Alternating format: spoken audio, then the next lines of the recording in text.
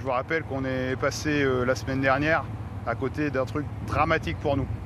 Dramatique, car un sapeur-pompier s'est endormi au volant de son camion.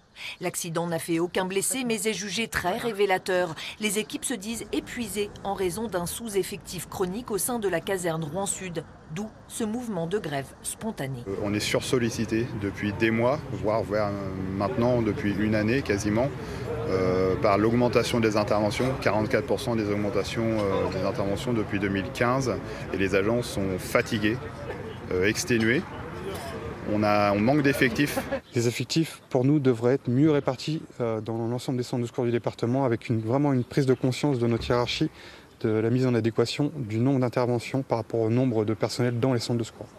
Le syndicat autonome réclame 150 postes de plus en Seine-Maritime, mais aussi davantage de considération de la part de la hiérarchie. Une direction qui se dit pourtant à l'écoute. Des pourparlers sont en cours pour des créations de postes et une réduction des interventions.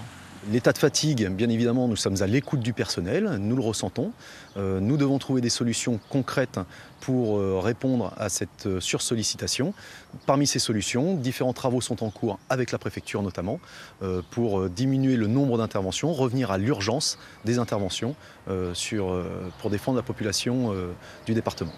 Un protocole d'accord est en cours entre les salariés et la direction. Il pourrait voir le jour le 4 juin prochain.